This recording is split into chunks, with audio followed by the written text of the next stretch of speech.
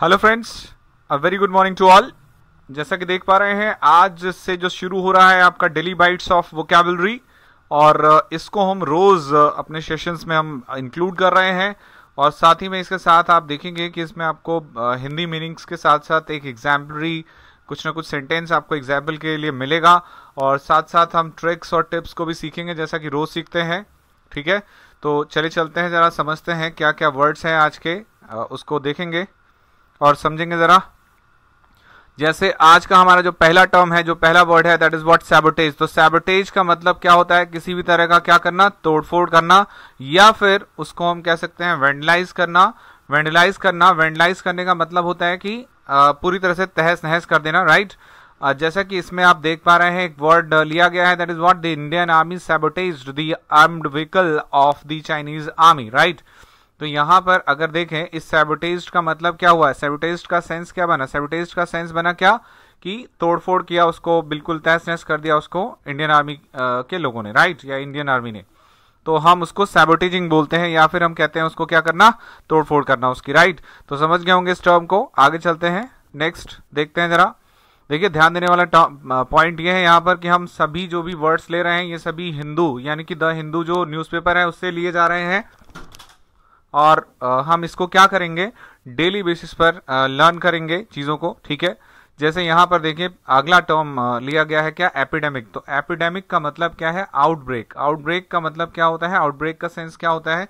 कि किसी भी एक एरिया में आ, किसी चीज़ का अचानक किसी बीमारी का स्पेशली फैलना राइट तो अभी काफ़ी चर्चा में रहा है word that is epidemic epidemic of what corona पहले तो क्या हुआ?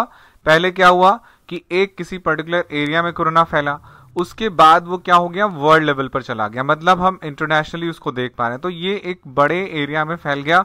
तो हमने इसको क्या नाम दे दिया? दैट इज़ वॉट पेंडेमिक तो हमने इसको क्या नाम दे दिया? दैट इज़ पेंडेमिक तो पेंडेमिक uh, मतलब एक है उसी तरह का टर्म मतलब कि एपिडेमिक जैसा ही है लेकिन इनफैक्ट जो पेंडेमिक uh, है पेंडेमिक एक बड़े बहुत बड़े लेवल पर हम बात करेंगे तो पेंडेमिक कहा जा सकता है। Otherwise that is what epidemic या तो हम उसको क्या कहेंगे? एपिडेमिक कहेंगे या फिर पेंडेमिक लेकिन डिफरेंस मैंने आपको समझा दिया है। Outbreak of any communicable disease specially मतलब कम्युनिकेबल uh, जो डिज़ीज़ होती है उसी को आप एपिडेमिक कह सकते हैं। हर तरह की डिज़ीज़ के फैलने को आप एपिडेमिक नहीं कहेंगे ठीक है? तो समझ गए होंगे पॉइंट को। और ये सभी अभी आपके हिंदू के ही लिए गए वर्ड हैं द हिंदू के।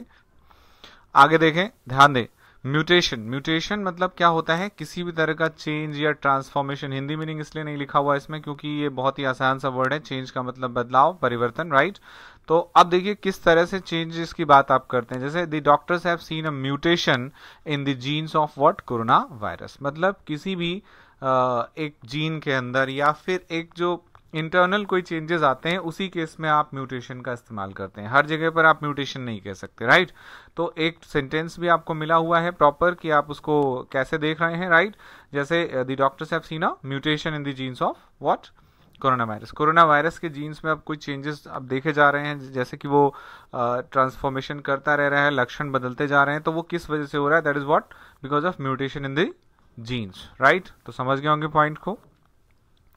चलिए, अगले टर्म की तरफ़ चलते हैं। अगला जो टर्म है, एडिटोरियल से लिए गए सारे टर्म्स हैं, ठीक है? तो बहुत ही ध्यान से पढ़ना है इसको, राइट? कहता है प्रोमलगेट करना। प्रोमलगेट करने का मतलब होता है अनाउंसमेंट ठीक है?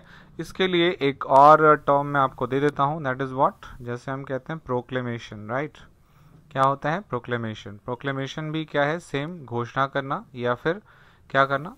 किसी चीज़ का अनाउंसमेंट करना राइट right? तो समझ गए होंगे पॉइंट को, जैसे कहता है the when the budget was brought many tax benefits were promulgated मतलब उसकी घोषणा की गई राइट right? मतलब उसको अनाउंस किया गया तो यहाँ पर प्रोमलगेशन का मतलब क्या है क्या है इसका मतलब घोषणा करना है सबसे पहली चीज़ क्लास ये समझिएगा, जितने भी लर्नर्स हैं, या जो इस चैनल पर रेगुलर जुड़े हुए हैं उनको मैं एक चीज़ कहना चाहता हूँ कि आप डेली बेसिस प्रैक्टिस मत छोड़िए। आपका डेली बेसिस पर कुछ ना कुछ कुछ ना कुछ लर्न करते रहना है आपको।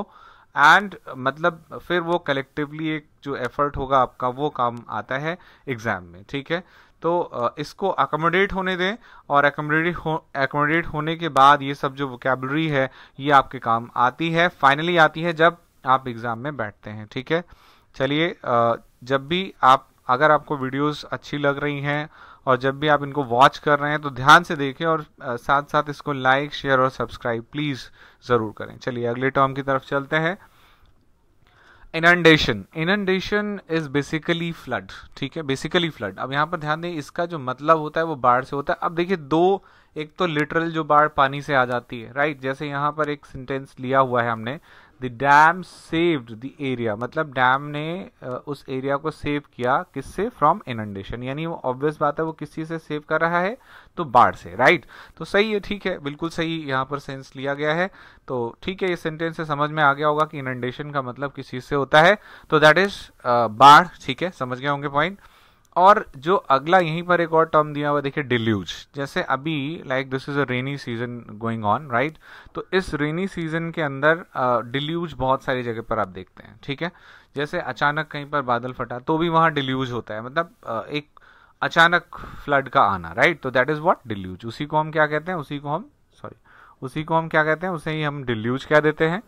तो समझ गए होंगे पॉइंट डिल्यूज जो है वो बिल्कुल पानी का ही फ्लड है डायरेक्ट लेकिन इनंडेशन में कुछ चीज़ें और आती हैं जिसको कि आपको देखना ज़रूरी है। जैसे यहाँ पर दिया हुआ है इनंडेशन ध्यान दे। इनंडेशन ऑफ़ वॉट क्या कहता है?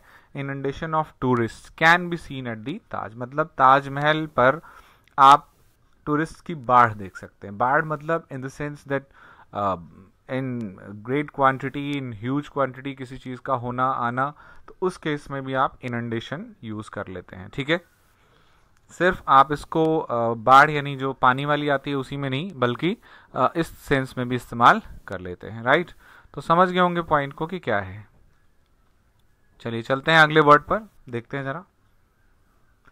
So this was the last word we had to discuss चलिए ठीक है thank you thank you very much for listening और आगे हम चलेंगे, जब अगले जो सेशंस आएँगे, उसके अंदर हम लोग बहुत सारे और वर्ड्स को डिस्कस करेंगे, ठीक है? लेकिन बने रहिए साथ में, जिससे कि क्या हो, जिससे कि क्या हो कि हम और सभी जो रोज के जो डेली बेसिस पर जो वर्ड्स आ रहे हैं, उसको हम डिस्कस कर पाए। Thank you thanks for listening